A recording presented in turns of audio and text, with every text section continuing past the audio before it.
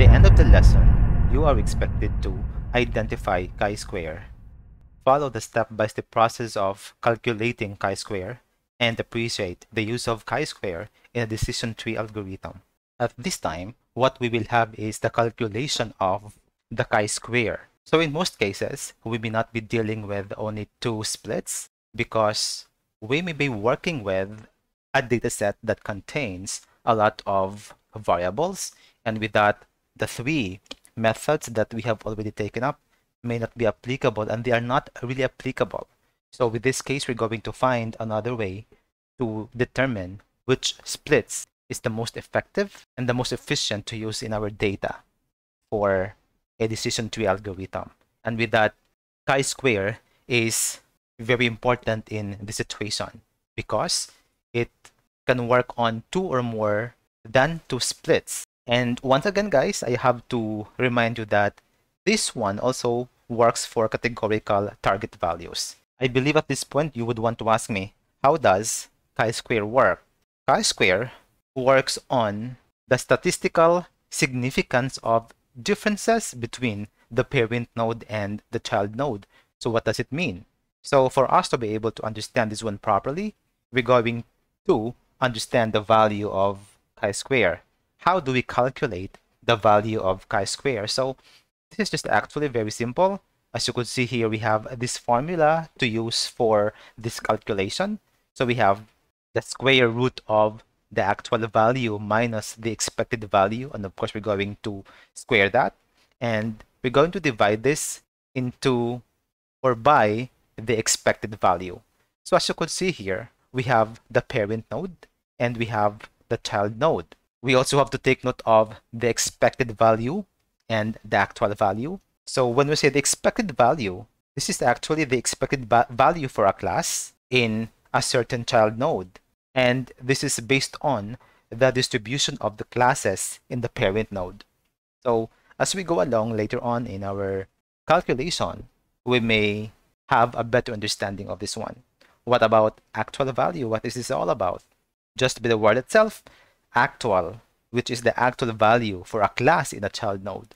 Supposing we have already identified the chi-square value of all the child nodes, what we will do next is that we're going to sum these values with respect to a certain class.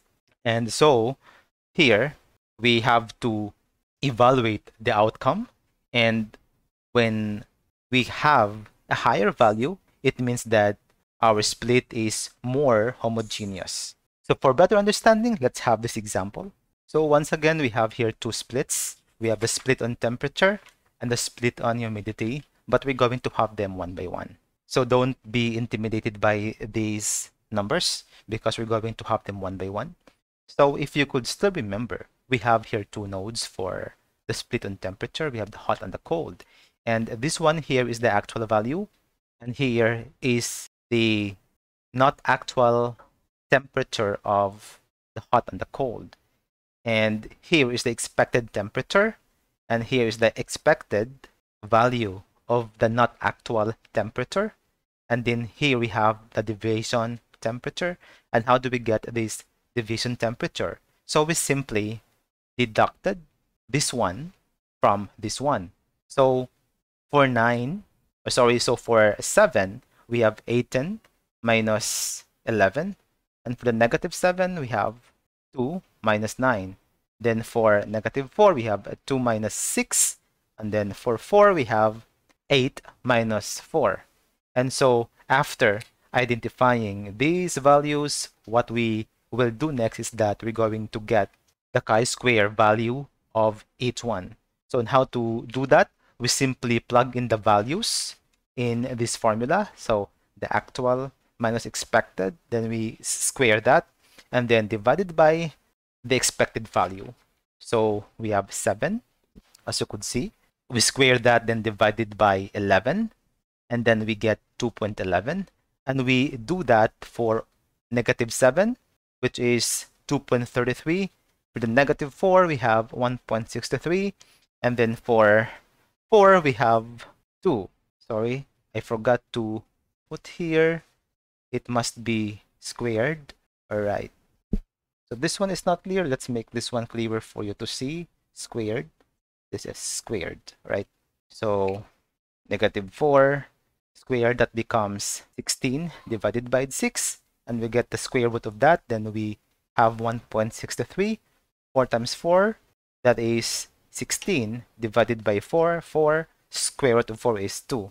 And then after that, what we do here is we get the sum total of all of these values for the split on temperature. And we get 8.07, which means to say the chi-square of the split is 8.07. And also, we do the same process for the split on humidity. And this one here in this column, we could see the values of the actual humidity for high and the low humidity. And here is not the actual humidity. And we could see here is the expected humidity for the actual humidity. And we have the expected values for the not actual humidity. And the same process, we do the differences of the actual value minus the expected value. And so we get 2 here because 12 minus 10 is 2. Then we have 4 minus 6, that's negative 2. Then 4 minus 7, that becomes negative 3. 10 minus 7, we have 3. And so we have here the values of the chi-square. And how we do that? The same process, we plug in the values in our formula. And so this one, we have 2 squared divided by 10 and we get the square root then we have 0.63 and for the negative 2 we have 0.82 for the negative 3 we have 1.13 for the positive 3 we have 1.13 and the same process here we get the sum total of all of these values and then we have 3.71. so after finding 3.71 and 8.7, what we do here now is that we're going to make comparison. As what we have discussed, the higher the value of the chi-square means the more homogeneous the split is. So let's find here the comparison. So the temperature has a value of 8.07 and the humidity is 3.37.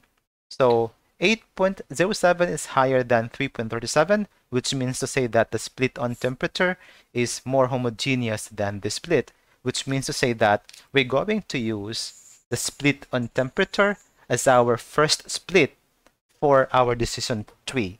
What is this for? Why do we have to study this? Sometimes we are faced with non-binary options or splits, and the other three methods are not applicable.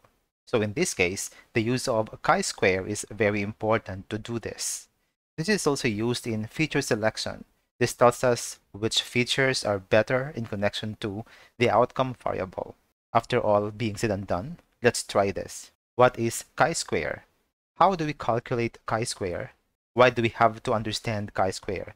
Please write your answers in a comment down below so that we would be able to have a very rich interaction of ideas and we can learn from each other. Do you want to know more about this channel? Just click these cards. We do have a lot of free data science courses for free like Machine Learning Essentials, Deep Learning Mathematics, and a lot more. Here, you can always learn an upskill for free.